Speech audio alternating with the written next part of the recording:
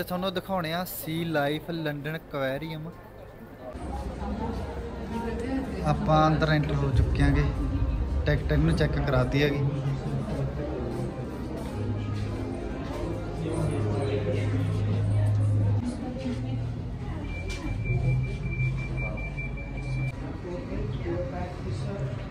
Security check ਕਰਦੀ ਹੈਗੀ ਫਿਰ ਦੋ ਵਾਰ ਆਪਾਂ ਐਂਟਰ ਹੋਣ ਲੱਗੇ ਇੱਧਰ।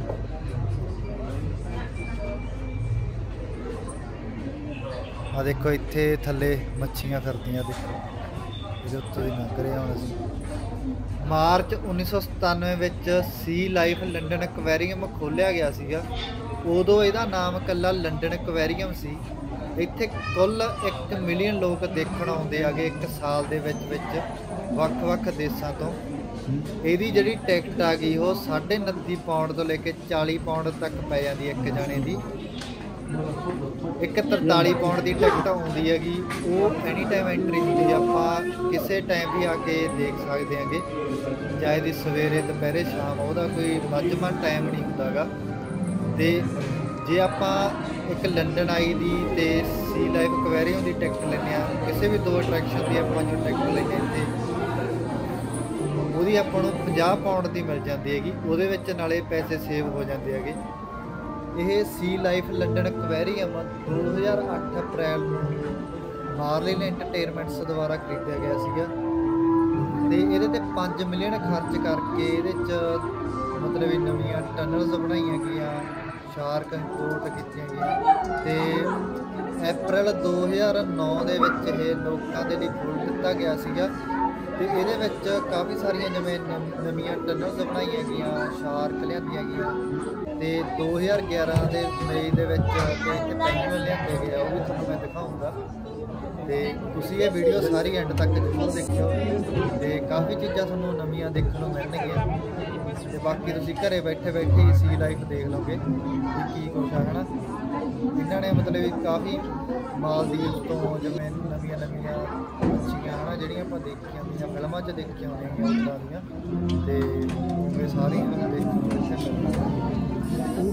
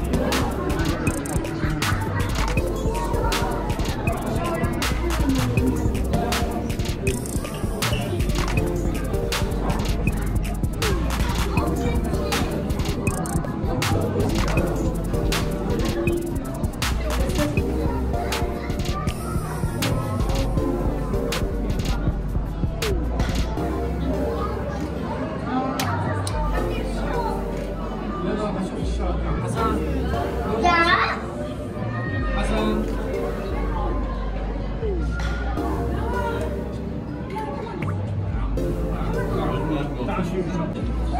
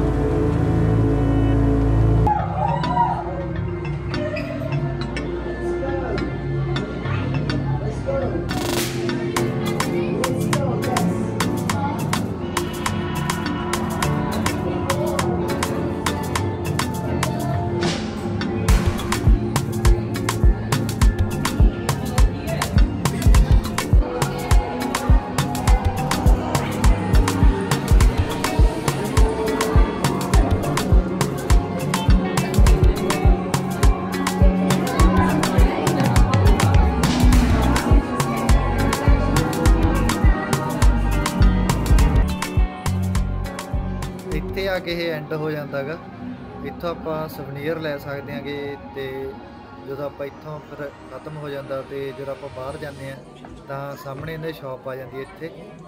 ਤੇ ਇੱਥੋਂ ਕੁਝ ਵੀ ਆਪਾਂ ਲੈ ਸਕਦੇ ਹਾਂਗੇ, ਜੋ ਵੀ ਚੀਜ਼ ਪਸੰਦ ਆ ਗਈ। ਇਹਨਾਂ ਦੇ ਬਣਾਏ ਹੋਏ ਹੈਗੇ, ਜਿਵੇਂ ਆਹ ਕੀ ਰਿੰਗਸ ਬਣਾਈਆਂ ਹੋਈਆਂ ਗੀਆਂ ਤੇ ਮੈਗਨੈਟਿਕ ਹੋਰ ਕਾਫੀ ਸਾਰਾ ਸਮਾਨ ਇਹਨਾਂ ਦਾ ਬਣਾਇਆ ਹੋਇਆ।